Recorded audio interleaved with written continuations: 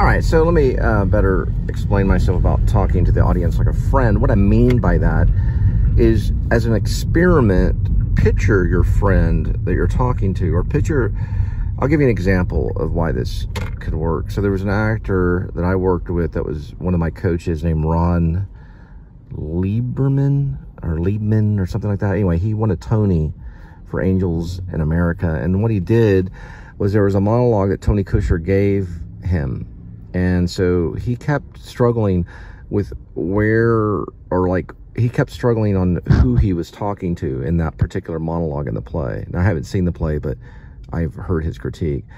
So, or I heard his uh, response to it, I guess you could say.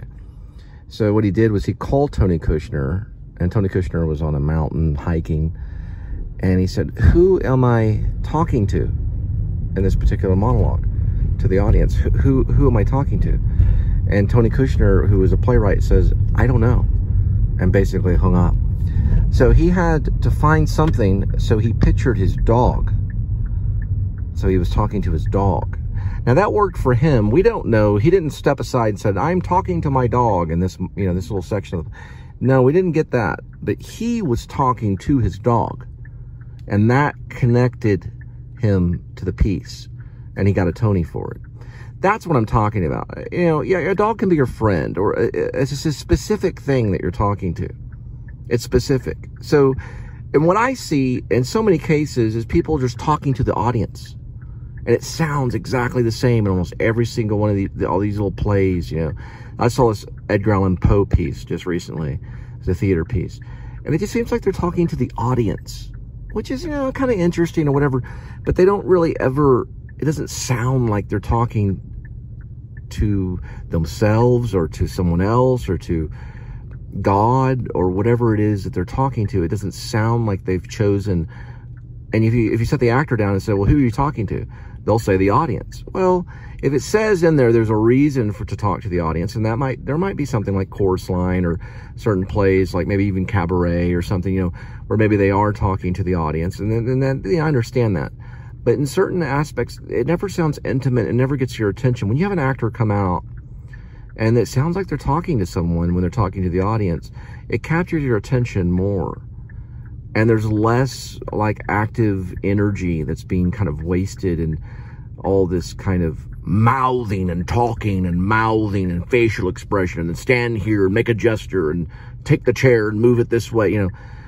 All of that's been done millions of times over and over again. And what they call that, that's called a theatrical convention. Okay, that's the vernacular. It's known as a theatrical convention. It's like planned, it's been done, and what Peter Brook would call it is deadly theater. Because there's no personal connection with anything. And so how do you make it personal? Well, you have to bring your own personal life into it to a certain extent. You have to bring your your own person into it and then, you know, there's different techniques every actor has. I'm not saying that everyone has to do emotional recall or everyone has to do sense memory, but it's at least that alone is activating the imagination. At least it's doing something rather than just memorizing lines, uh, you know, doing like a vocal uh, sound. And it's just all these mechanical repetition things over and over. When you start throwing in your imagination, or however you do it, then it starts to go somewhere. And you shouldn't even really be aware of it. Like, you know, you shouldn't be self-conscious of it. You should let all that go so that you forget yourself and you go somewhere with it personally, you probably wouldn't really be aware of it. It's, it's pretty craziness when you really do like a real kind of performance. That way, you know, when you do it, you kind of lose yourself and you're not thinking like, how did I sound or how did I look? All that goes away and then you're living in some other kind of moment. It's kind of like going into a parallel universe a little bit. It really is, and to a certain extent. You, you'll see it when it happens. You'll know it.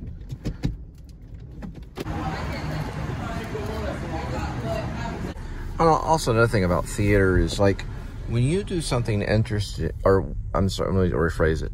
When you're interested in something, when your focus is interested in something, then the audience focus is interested too. So when you become interested, then the audience becomes interested as well, like with you. Same thing with film, really, but you know, so that that you know, the need to try to interest the audience, it's different than you, you finding interest, right?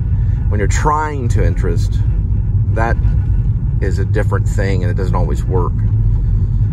It's when you find interest, you know, they're following you into this thing. So you have to find interest in what you're doing rather than to just simply entertain. Now, Brando did say, Marlon Brando said, you know, the reason that there is the actor is for entertainment. And there's some truth to that because you have to go back and realize what he's talking about. You're not like purposely trying to bore, you know, but you're, you're finding interest and you're, and then you're also thinking like a creative technician. Well, I wouldn't say creative technician, but you're thinking creatively, you know, you're using your imagination and then they'll come along with you. And it, so it's a, it's a working thing. It's like building anything. It's like, it's like, it's like crafting a statue. It's like, it's like writing a song. It's like doing a ballet dance. It's, it's all of those kinds of things. It's, it's an active thing. Now it's not the same as those things, right? So don't get confused and think that it's the same as sculpting or it's the same as ballet or it's the same as dance or something like that. But it's along the same ballpark kind of thing. It's an active thing right? So you have to get up and kind of do it. And I think I'm a big believer in rehearsal. So I think, especially theater, the more rehearsal you have, the more you start to kind of find those things in rehearsal. And you carry a mental notebook of inner objects, things that you think about. You carry that along uh, like an inner monologue. Those things you carry and you build in the performance. You can't see them you can't show them to the director. You can't really even show them to the audience, really. But you can experience them. And in that experience, then interest comes about in your own little thing that you've created. You become interested. And then all of a sudden, they're like, well, that was a great performance. That's because the person was actively engaged and something was going on with them, you know, in the performance. And it wasn't just them mouthing words. Stanislavski talked a lot about that when they brought the Moscow Art Theater over to America. He was exploring all these things and they, they had done that for certain reasons because communism was such a horrible thing in their own country. So if they could show people how they really were, they felt like they, they could make some type of change in not only society, but in, in the human condition. So it was important to them. And, you know, Russia still has problems but the Moscow Art Theater was the one that brought it over here, and then we explored it with them, and then we, that's when the group theater started, and we started to develop these different techniques that are still developing even today. Because you don't have to use the same techniques, you can invent your own. And I think every actor should have their own. They should invent their own way of doing things. All right, 6.30, 6.30, 3 minutes 1.1.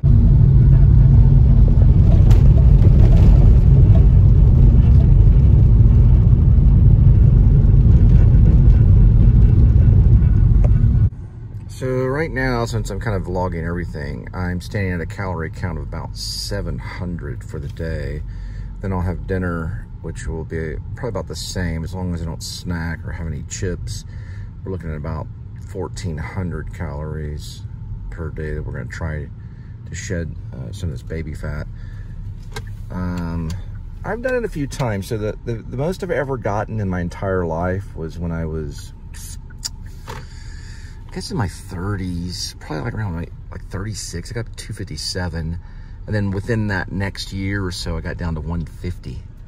So I lost more than 100 pounds. I lost about 107 pounds. And I've jumped up and down a few times, probably a little more than Tom Hanks. They're from California right there. It's these guys right here.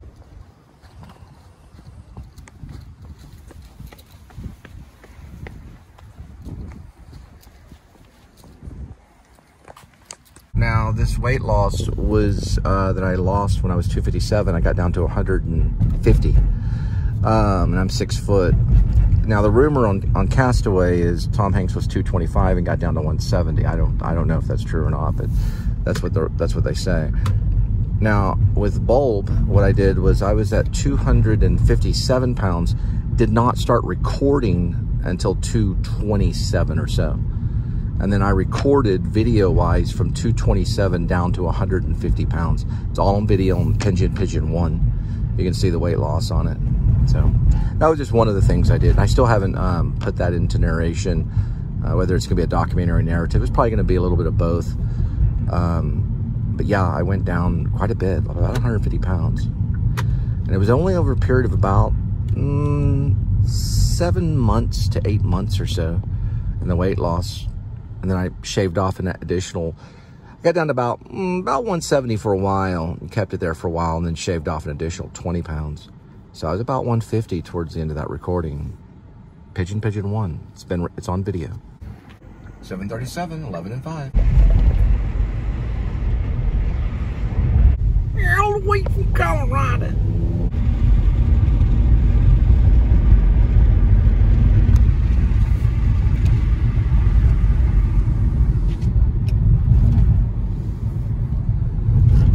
So, weight goal probably by August, eh, 180, a little under 180 or so.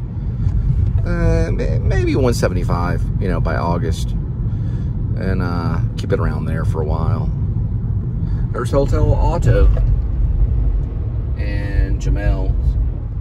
And we'll just, we're not going to be using like any crazy diets like the whatever that fat diet was, whatever. We're just gonna just cut calories and lower fat, you know, and uh, and then increase exercise, just kind of common sense stuff.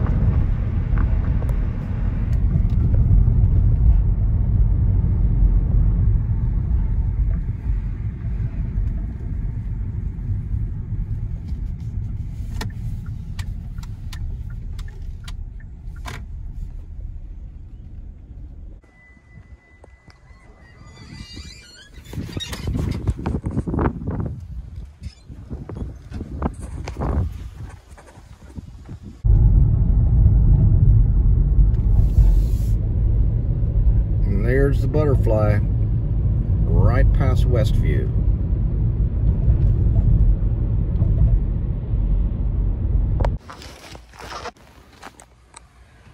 All right, we got another one, 843 or 842, 4 and 1.6.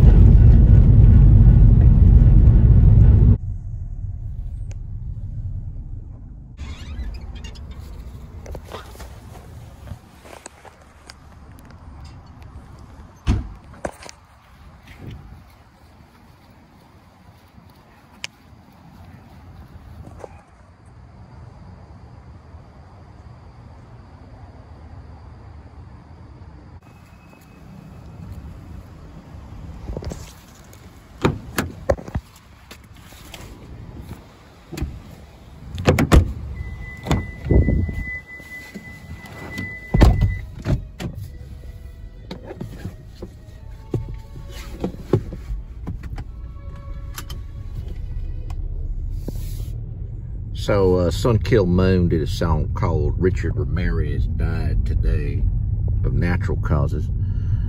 And there's no drums in it until it gets to 3 minutes and 58 seconds. Like 358. And man, they hit that drum hard. It's kind of scary. But they use all regular instruments to make a scary kind of scene. And of course, uh, guy Mark Kozelek, he uses uh, his lyrics and his voice to make it sound a little eerie. And it's it starts off with the life or the the serial killer Richard Ramirez till they catch him, and then he starts talking about his own life and how he uh, he's got to pee 50 times a day and got a death in the family, relative lost a relative and eating him up, needs some love, and he talks about how he goes to the Bristol Hotel. He's got the book Night Stalker he's reading. They let him in with the with the uh, with something in a black cat or something. It sounds like he's saying something about a black cat. Lead him down a hall or something. He's doing like research. It really sets kind of like a filmic kind of cinematic scene to the situation. It's a very good song. It's very creative and he must have quite the passion for serial killers just like most people do today watching Dexter and all the Charles Manson stuff like Quentin Tarantino's Once Upon a Time in Hollywood and uh, Zodiac, which was done by David Fincher, did really, really well as a as a, uh, a neo noir. But people are fascinated with crime thriller and serial killers and people killing. This is a really good song. Now, the thing about Richard Ramirez that he didn't talk about is they did catch him in a neighborhood. He flipped out, started running, and he tried to steal a lady's car and punched her in the stomach. Guy came out of the house and grabbed an object and beat him in the head with it. And finally, when they had him in the back seat, yeah, the cops had him there. They asked him if he, you know, he ever been arrested and things like that. I think he was so scared and paranoid about the people outside of the cop car, you know, the people in the neighborhood that were all yelling at the cop car. He felt unsafe, like they were going to kill him. So he confessed right there. He said, you got me. I'm Richard Ramirez, is what he said. And uh, the next thing you know, uh, that led to another thing, and they got the guy he was already posted on the news, like on the uh, newspaper, and his face and everything. So when he saw that newspaper in his face, he just started running. And just, you know, he didn't talk about it in, in this, but Mark Kozelek is like an expert on it. He's read a few bios and whatnot. Next one, 917, 4 minutes, 1.9. I'll talk a little bit more, uh, more about Richard Ramirez in a minute. So one of my acting professors at Texas Wesleyan University was Jerry Russell. He was a guy that started Stage West in Fort Worth, him and a guy named Covault, Jim Covault. But Jerry Russell passed away a few years back. And uh, he had worked with a guy named Lou Diamond Phillips. And Lou Diamond Phillips uh, played Richard Ramirez. They also had a photograph of Richard Ramirez, I mean, um, sorry, they had a photograph of Lou Diamond Phillips in a in a German restaurant that Linda worked at called Edelweiss. They had tore that down and repainted it as if it had never existed. Now, Ramirez was known to do everything for the devil. And uh, he wasn't really after a lot of money. Now, he did rob some of the people that he killed, but that's what he talked about. And they interviewed him one time. And they asked him if he'd talk about, you know, what he was worshiping and all that stuff. He said, yeah, I can talk about Satanism. Um, power with no charity is what he said. Power with no charity. I'll tell you one thing, there's a lot of people that are like Richard Ramirez. They don't kill people though, but they live in power with no charity. I thought that was an interesting thing that he said. I don't know all the facts about him and all that stuff, but I certainly can learn about it on Wikipedia or read about it, but he was quite the evil person. Now, if they gave Mark Kozelek a black cat, when we walk down some kind of hallway. I'd like to figure that out, if that's what he's saying. I, I have to look at the lyrics to kind of understand what because Kozelek was talking about. But he supposedly followed the footsteps of the guy. He also, Kozelek also has some strange lyrics if you listen to Glenn Tippin, or Tipton, Glenn Tipton, on A Ghost of the Great Highway. He talks about killing a, a, a young lady or something. Something about her blue jeans and a letter or something, I don't know. He's a weird guy. I mean, you know, he does a lot of solo performances. He's just obsessed with, I guess, serial killers and stuff. He also is obsessed with boxing. He likes to look at the boxers and things like that. He's into old boxers and people that, you know, you know, sport boxing, you know, fighting. But, uh, they made a movie with Lou Diamond Phillips. It's pretty good. I think they could make another one, but David Fincher, who did Zodiac, he chose to do the Zodiac, was real creepy. Zodiac is a creepy one, too. But they called Richard Ramirez the walk-in killer, so that was one of the names they called him. He was also called the Night Stalker. All right.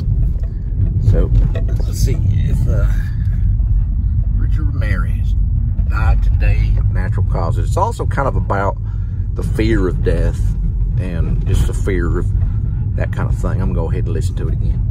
So yeah, I'm re-listening to the lyrics. It sounds like he went to the, uh, Mark Kozelek went to the Bristol Hotel. He said, the guy said, you like them all, gave him a key. And a, sounds like he says black cat, let him down the hall. They gave him a key and a black cat. I don't know. I have to look at them lyrics, see what it really says. But sometimes I get lyrics confused. But I guess they gave him a key. He was there to study, you know, I guess study the footsteps of a lunatic. Anyway, song did really well, and they played it at Pitchfork Live. Sounded pretty good. You know, Sun Kil Moon, they, they did, I think the live version's better than the studio. But the Pitchfork uh, concert was a pretty good, it was a little festival, and they played it there. It was, it was done a little bit different, but pretty good. He's done some good ones and some bad ones. Uh, but he's kind of one of those guys that's kind of noir a little bit noir people sometimes are cynical heroes, kind of sometimes self-interested. I've been reading about noir films like um, Chinatown and things like that.